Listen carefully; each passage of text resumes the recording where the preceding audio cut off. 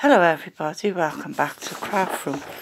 What it is, I've got this Crafter's Companion. Um, it's in this beautiful bag.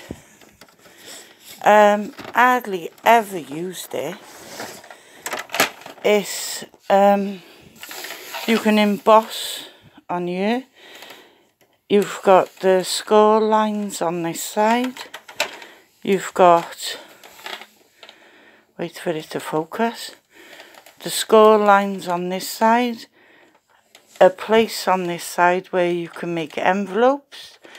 You've got embossing on this side to do embossed um, a butterfly, a star, um, a heart, and then when you open it, it'll open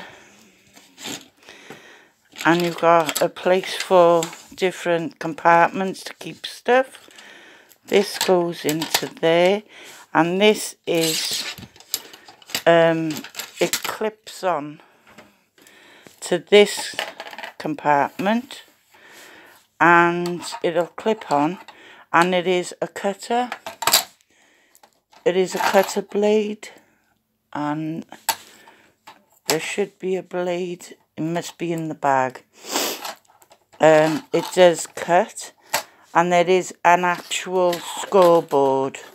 And I think that's up in the shed which I will put in. There's the blade. There's the blade. You put the blade in and it do actually cut as well.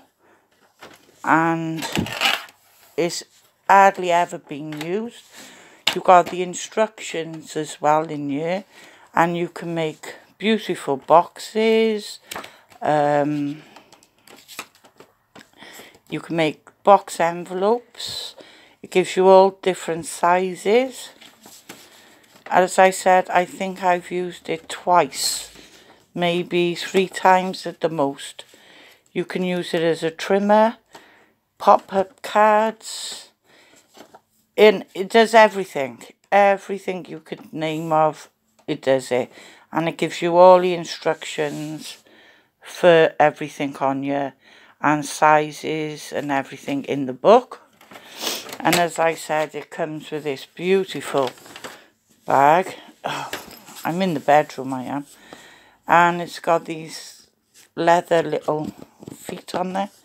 And it is in this old you can put your pens in there and it holds quite a bit.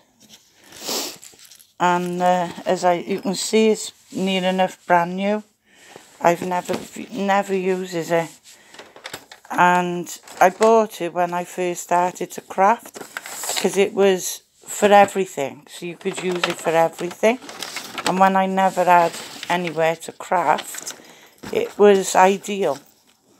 So I'm looking for £25 for it and I did pay a lot for that. So that's a good deal. If anybody's interested just leave me a comment. I'll, I will leave my email in the description box.